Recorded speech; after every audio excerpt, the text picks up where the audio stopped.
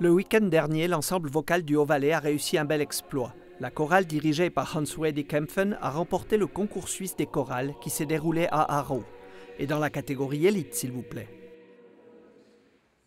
Hans-Wedi Kempfen est donc un directeur heureux. Et pour lui, cette victoire, la seconde après celle de 2005, n'est pas vraiment une surprise avec de tels chanteurs. C'est un super mélange entre les anciens et les nouveaux.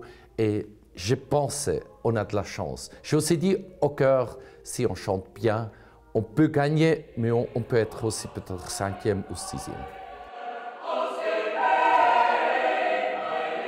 L'ensemble vocal du Haut-Valais, c'est 38 chanteurs qui travaillent plus que les autres, 3 à 4 heures par semaine et un week-end par mois.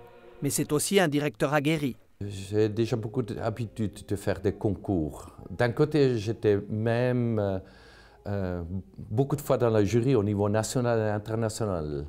Et après, on sent un peu qu'est-ce qu'il faut faire. D'un côté, c'est très important d'avoir un programme très varié. Avec ses succès et sa réputation, l'ensemble vocal du Haut-Valais séduit les jeunes chanteurs ambitieux jusque dans la partie romande du canton. Six membres du chœur parlent français, à l'image de la fuyérienne Sylviane Bourban. Le chœur est réputé partout en fait, et c'était déjà, c'était déjà un rêve de commencer à chanter dans cet ensemble. Et j'ai chanté avec Hans-Rudi Kempfen au chœur suisse des jeunes. Et c'est comme ça en fait que j'ai connu le chef et je suis, connu, je suis entrée en contact avec lui. Un chef sur lequel l'étudiante à la Haute École de musique de Neuchâtel ne tarit pas d'éloges. C'est un très très très très grand musicien. Et euh, je crois une personne qui a humaine, des très très grandes qualités humaines. Il lui en faut pour mener cet ensemble hétérogène qui regroupe des chanteurs de 15 à 61 ans.